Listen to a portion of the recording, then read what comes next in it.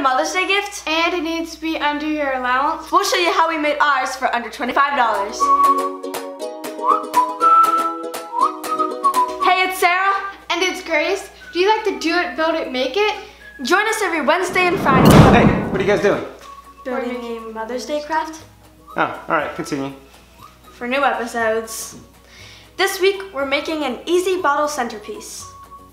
For this craft, you'll need about six 6-inch bottles and a 1 by 6 by 8 foot board. And you'll need some daisies. All right, out of this 1 by 6 we're gonna cut two 3 and a quarter inch pieces and two 25 and a quarter inch pieces. Safety first. Okay, so now that we have all of our pieces cut, we're gonna put holes in one board for the tops of the bottles. The top of the bottle is one and a half inches. So we're gonna make a one and three quarter inch hole. We're gonna start from one end and come in two and three quarter inches. And then every three and a half inches to the center of the next hole. And we have this tool to make a perfect hole for us. Let's make some holes. And that's my stutter hole for the drill.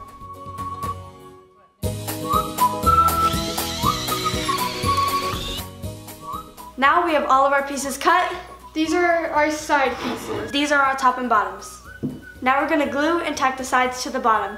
Dad, What's up? we need help tacking the sides to the bottom. Oh, I think you're gonna need a one and a quarter inch finishing nail for this. And some glue. What do you got? We have the glue and the nails. All right, sweet. So put some glue on one of the sides.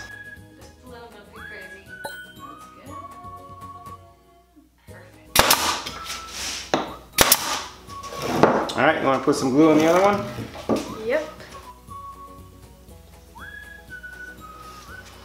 Perfect, just enough.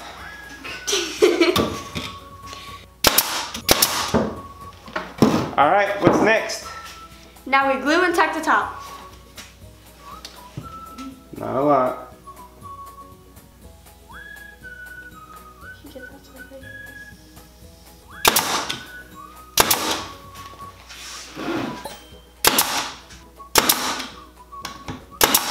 For good luck. Thanks, Dad. You're welcome. All that we need to do is put the bottles in the holes. We'll cut these down. All we have to do now is stain it. We've applied the stain, now we have to cut down the flowers to make sure they don't look so tall.